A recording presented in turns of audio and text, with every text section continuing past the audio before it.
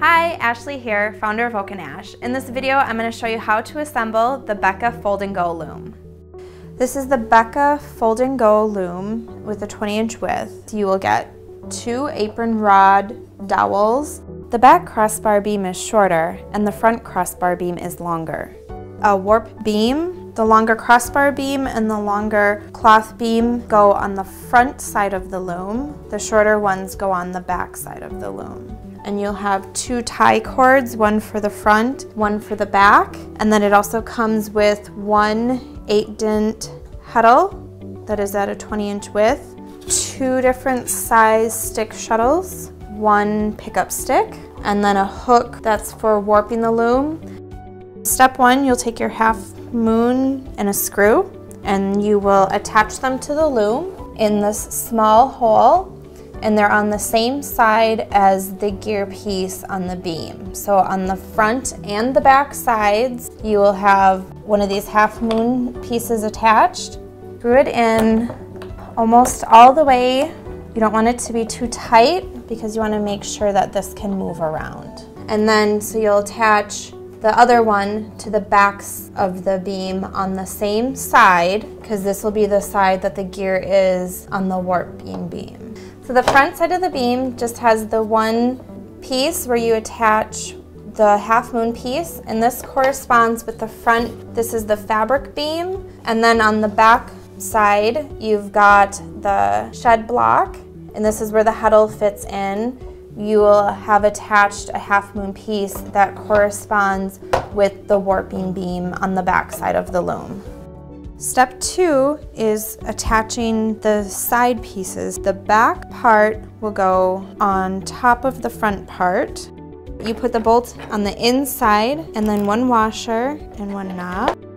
So you'll put the dowel in on the inside, screw this in, help keep the dowel in place. So this dowel, putting that in place will help this from staying straight and not overextending. Then you'll do the exact same on the back. One bolt, one washer, and one knob. I'm putting the dowel, screw this in. The next step is inserting the front cloth beam and the back warp beam into these holes. The gear and the half moon piece on the same side goes in there. And then you do the same on the back. To secure the loom in place, we'll put a crossbar beam on both the front and the back. The front side is the longer side, and so you put the notch side down, screw, do the same thing on the back, then flip it over to expose the large dowel holes on the bottom side of the loom.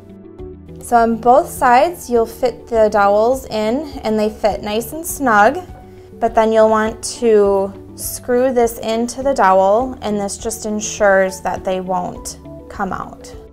The last piece into place, you flip it back over so it's right side up. For the front and the back, you have an apron rod and cord. And depending on the type of project you're doing, so you'll be inserting it into the holes and tying it to the apron rod. And then this is what you attach your yarn to and it helps you adjust the tension for when you get started. But depending on the type of project, you might only need to do so many or you might have to wind the cord through the whole thing. The heddle that comes with it, which is an 8 dent heddle and it's 20 inches wide. And this would be your down shed once it's warped and then it fits nicely up here for your up shed. And there are two notches so you can comfortably fit two heddles on the loom and do a two heddle project. So the main feature of this loom is that it folds and it can fold if you don't have a project on it, it's great for storing. It makes it smaller to store. And you can also fold it with a project on it, and that just helps it so you can transport it better. And then tighten the knobs and it will stay nice and secure.